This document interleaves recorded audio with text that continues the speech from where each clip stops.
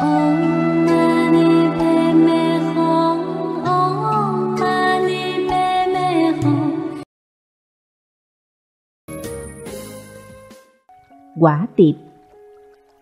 Quả tiệp từ nhỏ tay phải mất thính lực. Thời tiểu học mắc bệnh viêm cơ tim, phải nghỉ học nằm viện, sau đó còn bị bệnh gan. Năm 16 tuổi, đột nhiên đầu cháu nhức thống thiết, hôn mê suốt 5 ngày, tỉnh dậy rồi thì không biết chữ, thậm chí một cộng một là mấy cũng tính không ra. Bác sĩ phán, do ngày trước huyết quản não bất thường, não bị tẩm huyết, nên phải phẫu thuật.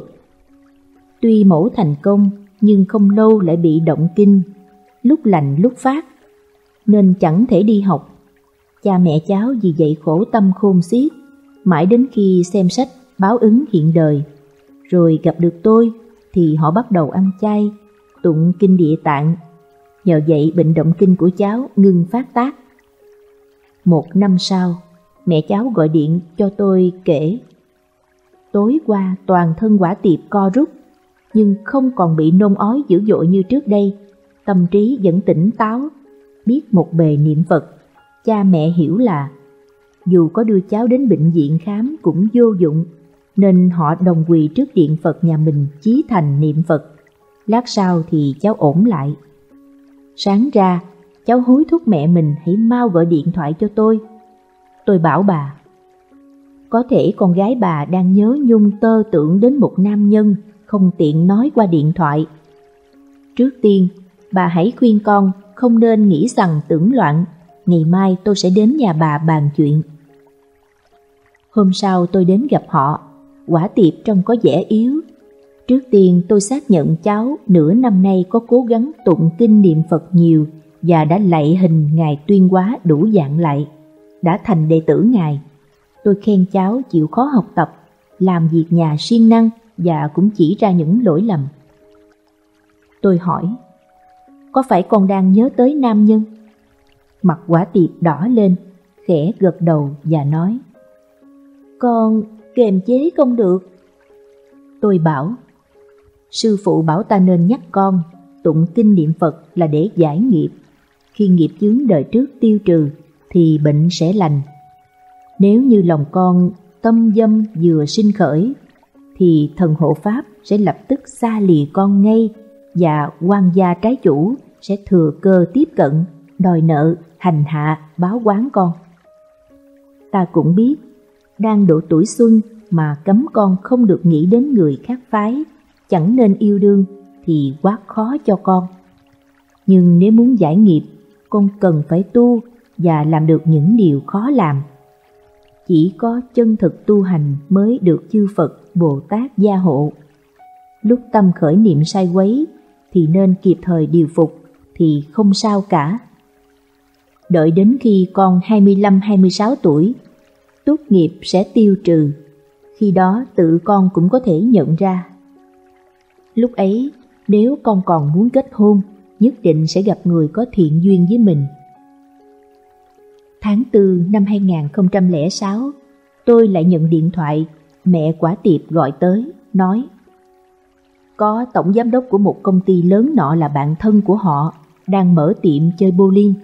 Biết con gái bà đang rảnh, nên muốn giúp đỡ họ bằng cách để dành cho nó một chân làm việc ở quầy thu ngân và hỏi quả tiệp có chịu đi làm hay không. Bà hỏi ý tôi phải làm sao? Tôi không trả lời. Quả tình có thầm lo. Nếu quả tiệp đi làm, e là trong môi trường tiếp xúc có nhiều nam giới, nó khó mà khống chế được tình cảm yếu đuối của mình. Do vậy tôi đề nghị, để tự nó quyết định. Tất nhiên quả tiệp chọn đi làm. Một ngày mùa thu tháng 8, mẹ quả tiệp lại gọi điện tới, kể Tối qua con tôi phát bệnh, sức khỏe rất xấu, hiện giờ không ngốc dậy nổi, nó cứ thúc tôi phải gọi điện cho ngài. Ngay lúc ấy tôi nhận ra, tâm quả tiệp đang tơ tưởng đến nam nhân, nên liền tra gạn thì quả nhiên đúng thế. Mẹ nó nói, gần đây cháu về nhà, ngó bộ tinh thần bất định, nghe nó kể có một nam sinh thường nhắn tin cho nó. Do cảm thông quả tiệp từ nhỏ đến giờ luôn bị bệnh hành, tôi bảo mẹ con họ hãy đến chỗ tôi. Sau đó tôi kể câu chuyện tiền thân của quả tiệp cho bọn họ nghe.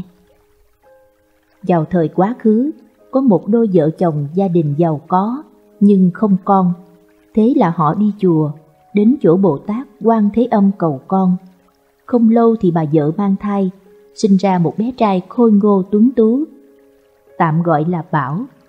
Cả nhà cưng như châu ngọc. Bảo tính thông minh, nhưng do được nuông chiều quá mức nên càng lớn càng kiêu ngạo, chẳng nể nang ai, muốn làm gì làm đó, làm toàn theo ý mình. Lúc này cha mẹ muốn quản giáo, cũng đã muộn, chỉ biết tiếc hận mà thôi. Sau đó thân phụ chàng tạ thế, mẹ vẫn cưng chiều, bảo ngày càng phát thói tệ xấu, không làm việc, thường kết bè cùng bạn ác, lêu lỏng đàn điếm ăn chơi, qua lại chúng thanh lâu nhậu nhẹt mua vui. Sau đó, trong nước xảy ra chiến tranh, Bảo cũng tùng quân đánh giặc, giết người không ít. Tàn cuộc, chàng hồi hương, cưới vợ sinh con, vẫn không lo làm việc, chỉ biết ăn xài quan phí. Tiền toàn là chia ra không thu vào, nên dần cạn kiệt. Vợ Bảo khuyên can, chàng cũng không thèm nghe, còn nổi tịnh nộ ra tay đánh đấm, tác mặt đá vợ, khiến nàng bị trọng thương. Hôn mê cả một ngày một đêm mới tỉnh. Kết quả, tay phải nàng bị điếc, toàn thân bầm dập, mang nhiều vết thương trong lẫn ngoài. Hơn nữa đầu còn bị đau nhức không ngừng, có chữa trị mấy cũng không hết và nàng lìa đời. Gia đình nhà vợ tức giận kiện thư lên quan, bảo bị bắt thẩm tra, mẹ chàng phải bán hết gia sản mới cứu được con trai toàn mạng. Bảo bị kết án, sung quân lưu đài. Đến lúc chàng trở về nhà thì mẹ đã mất, chỉ còn căn nhà trống, chàng phải bán nhà để sống qua ngày, nhưng vẫn quen thói bê tha truy tìm quan lạc. Cuối cùng cũng đến một ngày, tiền của hết sạch, Bảo phải lang thang ăn mài, biến thành kẻ trộm cắp chôm chĩa, thường bị người dây đánh. Đến một ngày nọ, chàng té nằm trên đất, toàn thân co giật, miệng trào đờm. Người chung quanh nhìn thấy cũng không ai thèm giúp. Sau đó tuy bảo chẳng chết, nhưng sống bần khốn suy sụp luôn bị người phỉ nhổ. Lần nọ, trong lúc đang phát bệnh co giật, thì bỗng có một chiếc xe ngựa đi ngang qua và dừng lại. Thấy nhà đầu dìu đỡ một phu nhân quyền quý trên xe bước xuống, bà tiến đến gần chàng. Khom lưng nhìn, rồi đưa tay bấm vào mấy quyệt đạo trên thân bảo. Chàng lập tức hết co giật bà bèn lệnh cho phu xe mua nước rửa mặt cho chàng và ban tặng thức ăn. Chàng nhờ vậy hồi sinh. Lúc này phu nhân cảnh báo, nhắc nhở với mọi người rằng sở dĩ bảo sa cơ đến bước đường cùng này là do tội ngỗ nghịch bất hiếu, tạo lắm điều ác mà ra. Bà khuyên dân làng nên lấy chàng làm gương, sống phải biết hiếu thuận cha mẹ, cư xử tốt với người phối ngẫu, phải làm tròn bổn phận, thiên chức của mình trong gia đình nên đoạn ác tu thiện mới mong phúc đến bệnh tiêu.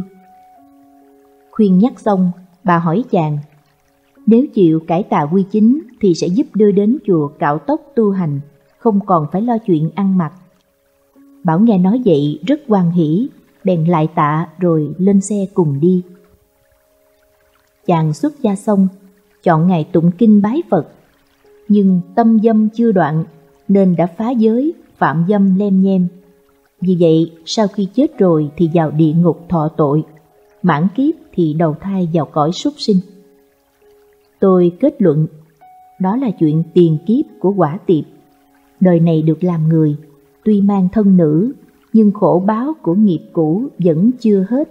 Do vậy mà ngay từ nhỏ, bị bệnh tật triền miên, nhờ đời trước từng xuất gia tụng kinh, nên nay được gặp Phật Pháp tu theo Song nếu muốn giải túc quán tội nghiệp thì tuyệt đối không được để tâm dâm manh nha vọng động. Quả tiệp nghe xong kinh hoàng tỉnh ngộ, liền dũng mãnh phát nguyện, xin thề từ đây không nghĩ rằng tưởng loạn, quyết chẳng tái phạm lỗi dâm ái nữa, đời này nhất quyết tu cho thoát ly tam giới. Hai ngày sau quả tiệp lại đến, trong thần sắc bình thường.